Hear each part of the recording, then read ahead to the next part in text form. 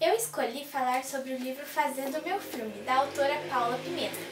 Esse é um dos meus livros favoritos. Nele conta a história da Fanny, uma adolescente que recebe a oportunidade de fazer um intercâmbio em Londres.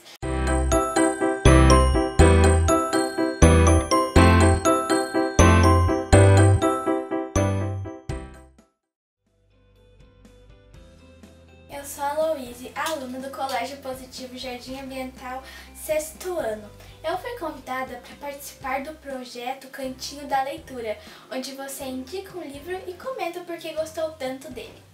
Eu escolhi falar sobre o livro Fazendo Meu Filme, da autora Paula Pimenta.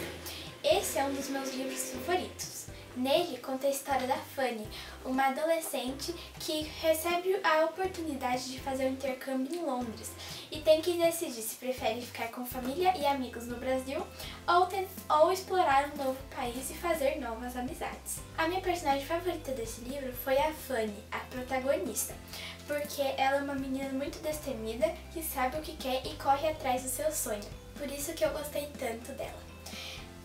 Esse livro, ele é uma série de livros que conta toda a história da Fanny desde o início da adolescência até quando que ela fica adulta. Esse livro tem romance, tem ações, tem amizades.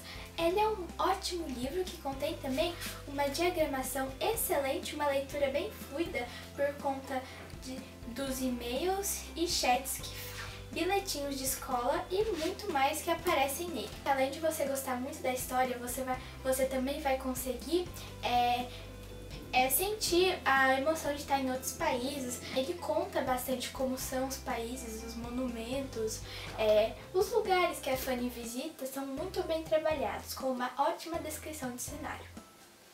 E você, já leu Fazendo Meu Filme? O que achou? Se gostou, não deixe de falar aqui embaixo nos comentários. Caso ainda não leu, leia e depois conte pra gente.